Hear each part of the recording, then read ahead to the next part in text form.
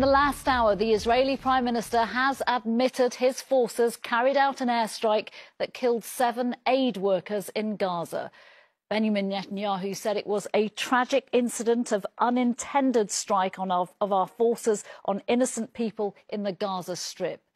It is now understood at least two British nationals were among those killed when their car was hit yesterday.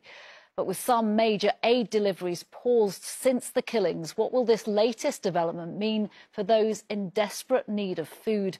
And how will it impact what happens next in the conflict? Charlie Frost has the latest.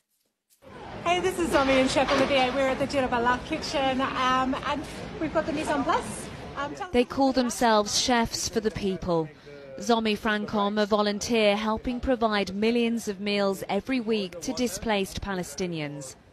But last night, after unloading 100 tons of humanitarian aid brought to Gaza by boat, the branded vehicle Zomi and her colleagues from the World Central Kitchen were travelling in was hit in an Israeli airstrike. Uncover this image, and um, it's kind of blurry. It panned across, and then like I saw Zomi's face, and I like yelled. It's kind of like a mix of devastating, and then you're just numb and I don't know if it's fully hit me yet, but it's been a pretty, it's been pretty rough.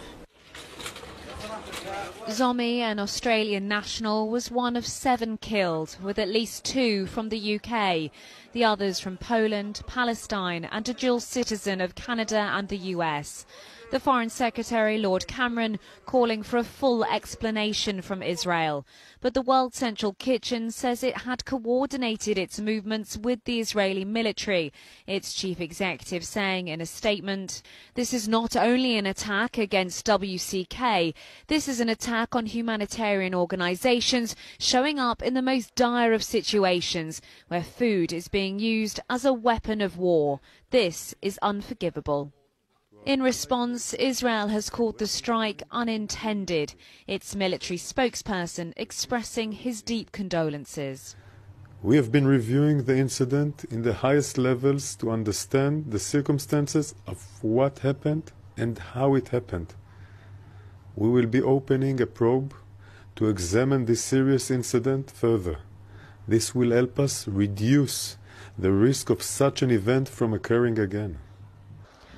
The World Central Kitchen has now paused its operations in Gaza, while another charity that had been working closely with them has announced it's doing the same.